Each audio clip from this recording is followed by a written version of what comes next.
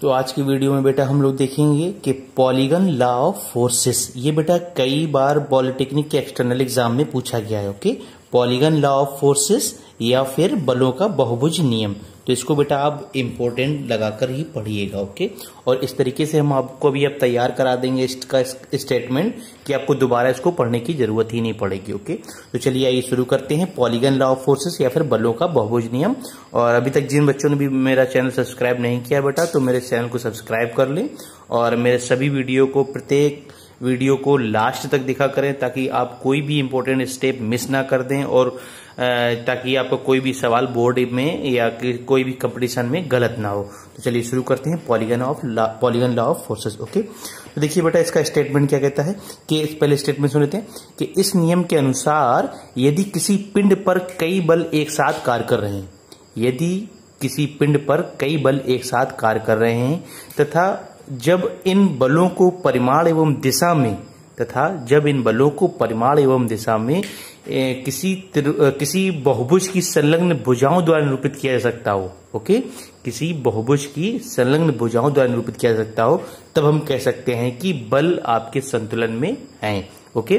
फिर से सुन लेते हैं कि जब किसी पिंड पर कई बल एक साथ कार्य कर रहे हो तथा प्रत्येक बल को परिमाण एवं दिशा में एक बहुभुज की भुजाओं द्वारा निरूपित किया जा सकता हो, तब हम कह सकते हैं कि बिंदु आपका या बॉडी आपकी संतुलन में है, ओके? ये आपका पॉलीगन लॉ ऑफ़ फोर्सेस है।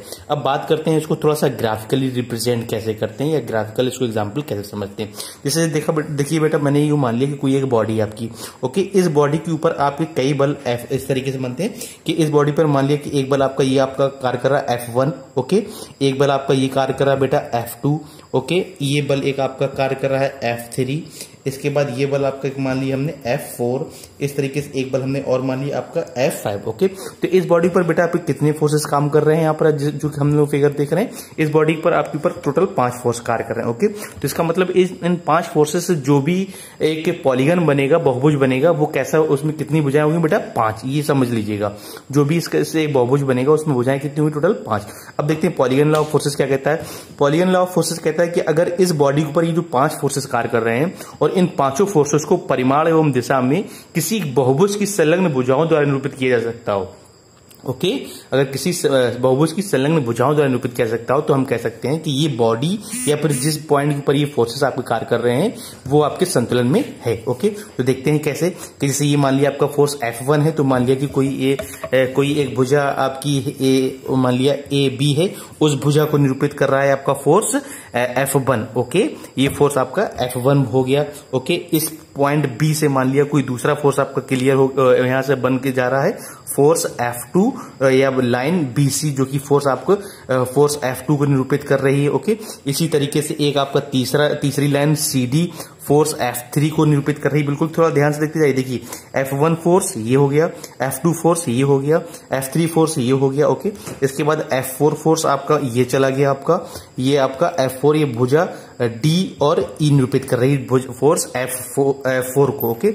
इसी तरीके से जो पांचवा फोर्स है आपका जो पांचवा फोर्स है वो भुजा ई E ए निरूपित कर रही है ओके अगर इस तरीके से एक क्लोज्ड पॉलीगन बन जा रहा है तो हम कह सकते हैं कि ये बॉडी आपकी संतुलन में है ओके तो ये बेटा आपका पॉलीगन लॉ ऑफ़ फोर्सेस था। इसको एक बार फिर से सुन लेते हैं जल्दी से कि यदि किसी पिंड पर, इसको फिगर से समझते जाते हैं, यदि किसी पिंड के एक बिंदु पर कई बल एक इस प्रकार से कार्य कर रहे हैं कि उन बलों को परिमाण एवं दिशा में एक बहुभुज द्वारा, बहुभुज की भुजाओं द्वारा निरूपित किया सकता है ओके तब हम कह सकते हैं कि ये बिंदु या ये बल आपके संतुलन में होंगे ओके? बिल्कुल सिमिलर ये मैंने एक, एक बॉडी बनाई इस बॉडी पर पाँच फोर्स कार्य कर रहे थे और इन पाँचों फोर्सेस को मैंने परिमाण या स्केल इसको हम लोग बाद में भी इसके सवाल देखेंगे न्यूमेरिकल इसको कैसे हम लोग इस फिगर से इसको ग्राफ को इस पॉलीगन को बनाते हैं ओके? तो ये हम लोग बाद में देख लेंगे। तो इसकी सहायता से अगर इसको जो हम इसमें निरूपित करेंगे तो अगर ये क्लोज पॉलीगन बन जा रहा है तो हम कह सकते हैं ये कि ये संतुलन में है ओके? इसको हम लोग बोलते हैं पॉलीगन लॉ फोर्सेज या बलों का बहुज नियम। तो बेटा आज के वीडियो में इतना ही। आप कमेंट बॉक्स में मुझे कमेंट करके ज़रूर बताइएगा कि पॉलीगन लॉ ऑफ़ फोर्सेस आपको कैसा लगा? और आज का वीडियो आपको कैसा लगा? ये कमेंट बॉक्स में मुझे ज़रूर कमेंट करके बताइएगा। ओके, धन्यवाद।